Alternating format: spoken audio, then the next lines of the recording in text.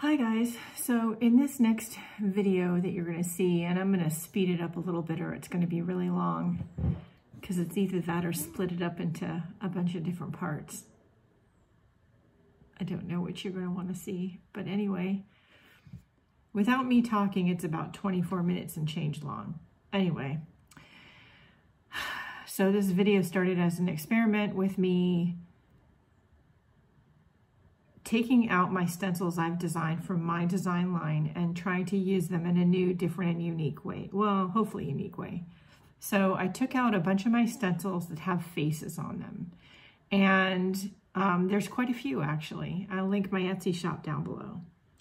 Uh, it's in the link tree list of links that's in the video description. Anyway, there's also a coupon code for the month of July, um, and that's down there. Check it out. Anyway, um, I took my face stencils and I put them onto some paper and or blank cardstock to make some greeting cards. And I traced the basic shape and design of, from the stencil with a pen, number two pencil onto the piece of paper.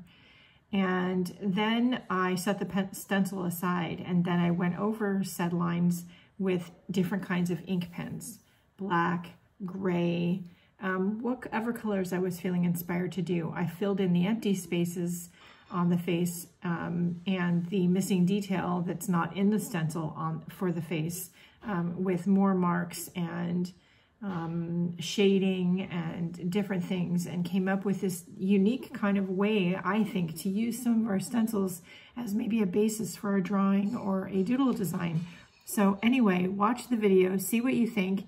Um, if you want some of my stencils from my design line or anything else from the shop, and again, it is on sale, um, but maybe you have some stencils already in your stash that you want to try this with. If you do, do that.